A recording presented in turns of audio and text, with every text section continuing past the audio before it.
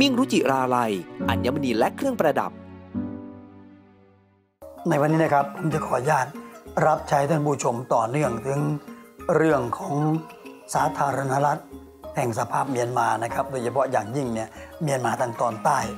ซึ่งตอนนี้นะครับทางตอนใต้ของเมียนมาเนี่ยก็กำลังมีการพัฒนาเส้นทางเชื่อมโยงร่วมกันเนี่ยนะครับ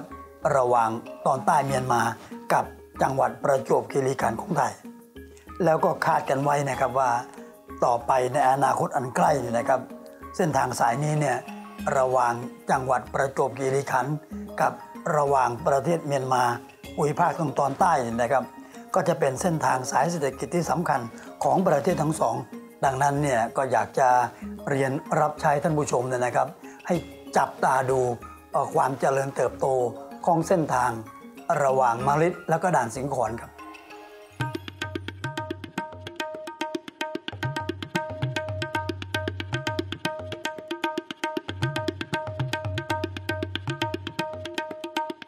เวลาท่านไปที่ด่านสิงขอนเนี่ยนะครับ แล้วก็จะเข้าไปในดินแดนของสาธารณรัฐแห่งสภาพแบบเมียนมาเนี่ยท่านจะเห็นว่าตรงนี้เนี่ยยังไม่ได้เป็นด่านชายแดนถาวรเนี่ยนะเป็นแค่จุดผ่อนปลนพิเศษทางการค้า บางท่านก็ถามว่าโอเศรษฐกิจดีขนาดนี้เนี่ยทั้งฝั่งไทยและก็ฝั่งแบบเมียนมาเนี่ยทำไมยังไม่เปิดเป็นด่านชายแดนถาวรก็อยากจะเรียนนะครับว่าตอนนี้เนี่ยกำลังติดปัญหา อยู่ประมาณสักร้อยเมตรเท่านั้นแหละครับที่ยังตกลงกันไม่ได้นะครับ เรื่องของออการปักปันแบบเขตแดนเนี่ยก็เลยต้องปล่อยไว้นะครับ ให้เป็นที่เรียกกันว่า no man land แต่ต่อไปแบบในอนาคตเนี่ยนะครับ ถ้าตกลงกันได้แล้วเนี่ยนะครับ ระหว่างไทยกับเมียนมาเนี่ยผมก็เชื่อว่าด่านสิงขอนเนี่ยก็จะได้รับการพัฒนาไปเป็นด่านชายแดนถาวรแล้วตอนนั้นนะครับอยากจะเรียนว่า เศรษฐกิจทั้งสองประเทศเนี่ยทั้งสองฝั่งที่ต้องใช้ผ่านทางด่านชายแดนสิงขอนนี่นะครับ ก็จะบูมตูมตามขึ้นเยอะมากทีเดียวนะครับ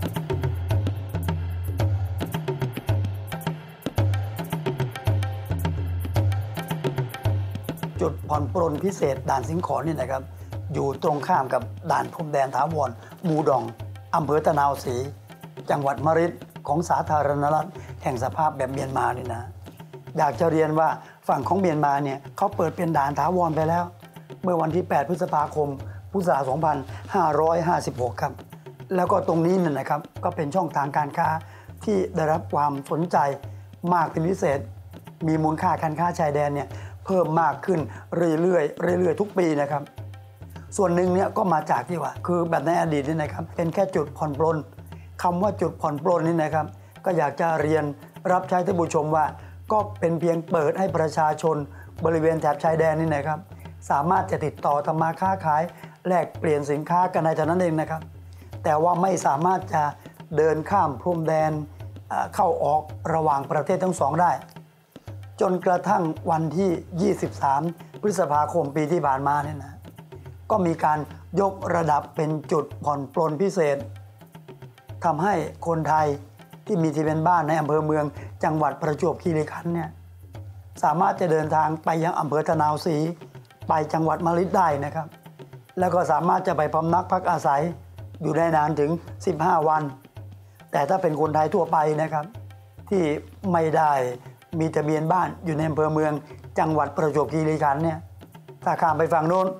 ก็จะพำนักพักอาศัยได้แค่ 7 วัน ในขณะที่คนเมียนมาก็เหมือนกันครับ ก็สามารถจะเดินทางมายังประเทศไทยได้ ไปในพื้นที่อำเภอเมือง จังหวัดประจวบคีรีขันธ์ได้ แล้วก็สามารถพำนักพักได้ 4 วัน 3 คืน แล้วไม่ต้องทำอะไรมากนะนะครับ เพียงแต่ทำแค่หนังสือผ่านแดน ไม่ต้องมีหนังสือเดินทาง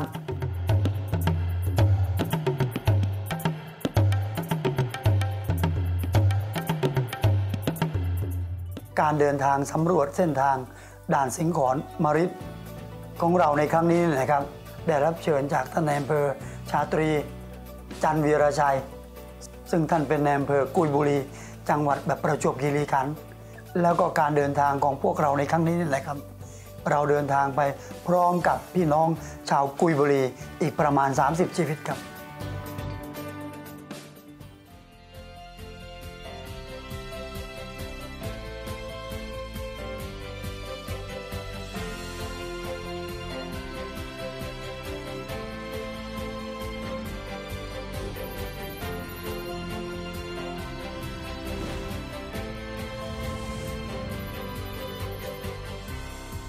มิ่งรุจิราลัย อัญมณีและเครื่องประดับ